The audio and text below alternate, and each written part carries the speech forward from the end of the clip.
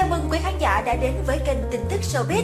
Chúc quý khán giả sẽ có nhiều phút giây thư giãn thật tuyệt vời cùng với chúng tôi. Và đừng quên nhấn vào nút đăng ký bên dưới và chuông thông báo để được nhận những tin tức mới nhất mỗi ngày nhé. Và bây giờ, xin mời quý khán giả sẽ đến với những tin tức showbiz nổi bật nhất trong ngày.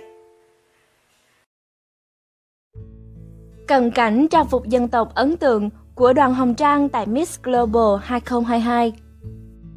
Trước giờ diễn ra hoạt động chụp ảnh trang phục dân tộc của Miss Global International 2022, đoàn Hồng Trang chính thức giới thiệu đến công chúng về bộ trang phục dân tộc ấn tượng, giàu ý nghĩa của mình.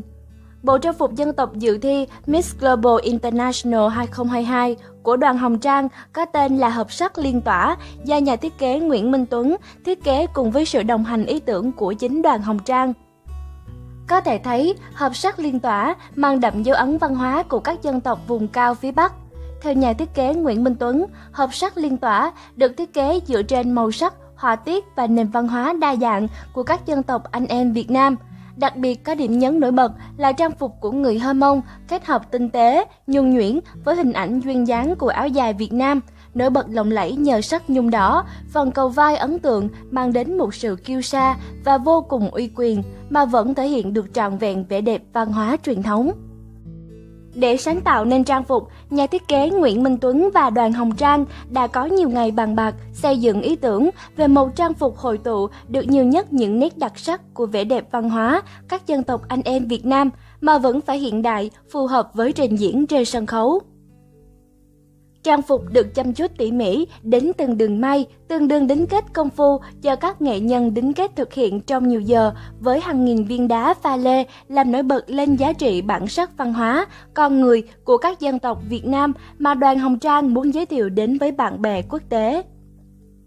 Phần tà xoay rộng với những đường họa tiết uốn lượn, gợi tả vẻ đẹp núi non hùng vĩ, bao quanh không chỉ giúp cảm nhận rõ một phần vẻ đẹp của vùng cao Việt Nam, mà theo nhà thiết kế Nguyễn Minh Tuấn, nó còn là sự biểu đạt cho sự bảo bọc, chở che của thiên nhiên tươi đẹp đối với người Việt, biểu đạt cho sự gắn kết yêu thương, đùm bọc lẫn nhau giữa các dân tộc.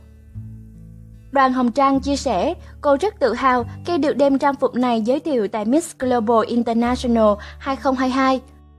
như đã từng nói, lần này đến với Miss Global International 2022, đoàn Hồng Trang không chỉ có nhiệm vụ nỗ lực giành chiến thắng, mà cô còn tự nhận lấy một sứ mệnh đóng góp sức nhỏ của mình vào việc quảng bá vẻ đẹp đất nước, con người Việt Nam.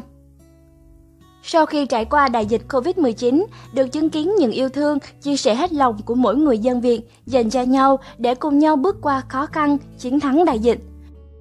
Sau khi theo dõi những chiến thắng vang dội của đoàn thể thao Việt Nam tại SEA Games 31 vừa qua với nỗ lực to lớn, không quản ngại hy sinh vì màu cờ sắc áo của các vận động viên Việt Nam, tôi cũng như những người dân Việt Nam khác đều dâng lên niềm tự hào dân tộc mãnh liệt trong trái tim mình.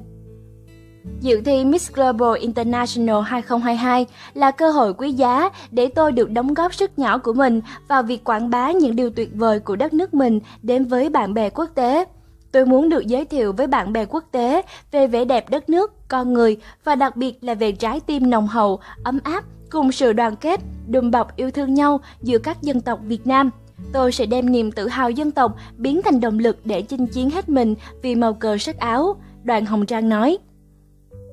Đoàn Hồng Trang cho biết, cô không chỉ muốn quảng bá vẻ đẹp văn hóa đặc sắc của các dân tộc Việt Nam thông qua ý nghĩa trang phục với bạn bè quốc tế, mà với chính cả công chúng quê nhà. Vì lý do đó nên trước khi lên đường sang Bali, Indonesia dự thi, cô đã đầu tư cùng ekip đến Sapa chụp ảnh trang phục dân tộc. Ông Đỗ Kim Khánh, cô Leading Star, đơn vị cử đoàn Hồng Trang dự thi cho biết, mặc dù đã thực hiện một bộ ảnh trang phục dân tộc tại studio, nhưng để có thể giới thiệu ý nghĩa trang phục được đầy đủ nhất, ekip đã lặn lội tới Sapa để chụp hình. Tuy nhiên, khá không may mắn là ekip tới Sapa đúng thời điểm mưa bão triền miên, buộc phải di chuyển xuống vùng thấp hơn để chụp trong điều kiện thời tiết xấu, nên không thể thực hiện được ý tưởng ảnh như mong muốn. Đoàn Hồng Trang cho biết, để hóa giải điều không may mắn này, cô sẽ quyết tâm thực hiện thật tốt ở phần chụp hình trang phục dân tộc tại Miss Global 2022. Xin chân thành cảm ơn quý vị và các bạn đã quan tâm và theo dõi video. Hãy nhấn vào nút đăng ký bên dưới để theo dõi những video mới nhất được cập nhật mỗi ngày quý vị nhé.